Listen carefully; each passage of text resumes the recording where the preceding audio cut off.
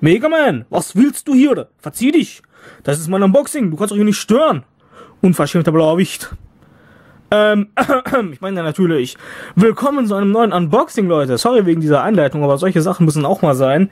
Ich habe mal wieder was auf Amazon bestellt. Nicht nur ein, sondern wieder zwei Pakete. Ja, Amazon verschickt meine Sachen immer in zwei Paketen. Wahrscheinlich bestelle ich einfach zu viel und ich nehme dieses Unboxing jetzt schon zum dritten Mal auf. Beim ersten Mal hat das Video irgendwie nicht gespeichert. Beim zweiten Mal war meine Adresse zu sehen und ich möchte nicht zu viel über mich preisgeben. Wer weiß, vielleicht habe ich irgendwelche Hater, die mir ein Paket Hundescheiße zuschicken oder sonst irgendwas. Ich möchte auf jeden Fall nicht meine Adresse an die Welt herausrücken. Ja, deswegen sind die Pakete schon leider geöffnet. Aber schauen wir doch mal, was in dem ersten Paket ist. In dem ersten Paket ist nur ein Buch, das weiß ich. Natürlich, ich habe es ja schon schließlich aufgemacht, ne? Warum sollte ich es dann nicht wissen? Opa hat das schon ganz leicht gesehen.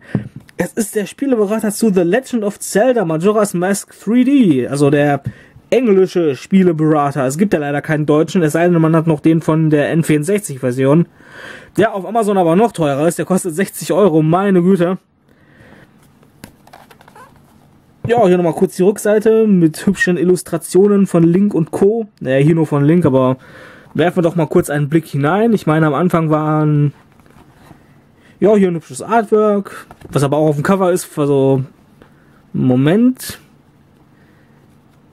Ah, hier haben wir ein paar Charakterbilder. Link, Epona, das Skull Kid und Tingle. Joring, Oh Gott. Wer hat sich diesen Charakter nur ausgedacht? Und diverse andere lustige Gesichter aus der Welt von Majora's Mask. Ja, ich bin mir sicher, dass dieser Spieleberater mir durchaus nützlich sein wird. Es gibt ja ziemlich viele Sidequests in Majora's Mask, die von der Tageszeit abhängig sind und ich habe so meine Schwierigkeiten, die alles zu finden. Da denke ich doch mal, dass dieser Spieleberater mir durchaus nützlich sein wird. So, das nächste Paket. Ups, ich habe gerade voll meinen Mega Man Amiibo angestupst, der sich so frech ins Intro gemogelt hat. So, diesmal haben wir wieder Pokémon-Mangas hier. Vier Stück an der Zahl. Erstmal auspacken kurz. Einen Moment.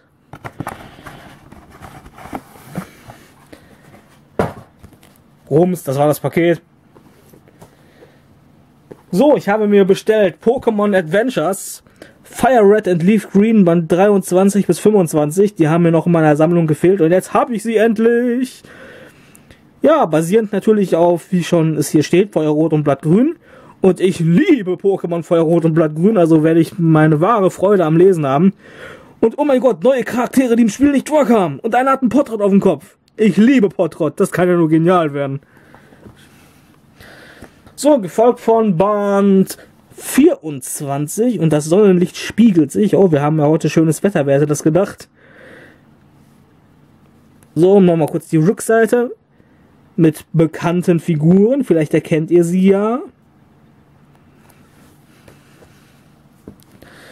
So, und zu guter Letzt, was Pokémon Adventures Feuerrot und Blattgrün angeht, Band 25. Hier auch nochmal kurz die Rückseite mit Giovanni und Mewtwo. Und Mewtwo benutzt im Manga einen riesigen Löffel als Waffe. Absurd? Genial? Wer weiß. Auf jeden Fall interessant. So, zu guter Letzt noch ein Manga, der zwar im Mai auch bei uns auf Deutsch rauskommt, aber ich war noch mal zu neugierig und musste ihn mal auf Englisch kaufen.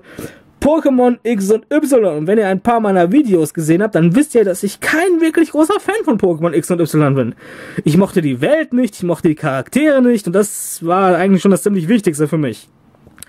Aber hey, der Manga hat durchaus Potenzial besser zu sein. Das war bei Pokémon Diamant und Perl auch so. In meinem Fall. Also ich fand Pokémon Diamant und Perl überhaupt nicht wirklich toll, aber der Manga war absolut klasse. Und vielleicht ist das hier auch der Fall. Und auf der Rückseite haben wir Team Flair. Hier steht es auch Team Flair. Ich weiß gar nicht mehr, ob die auch in der deutschen Version so hießen, aber ich glaube schon.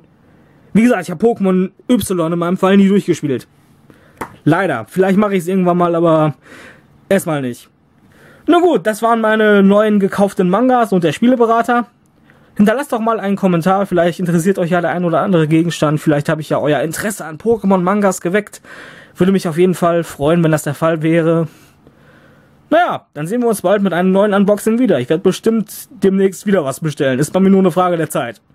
Nun denn, nochmal danke fürs Zuschauen, Leute. Wir sehen uns. Macht's gut und tschüss.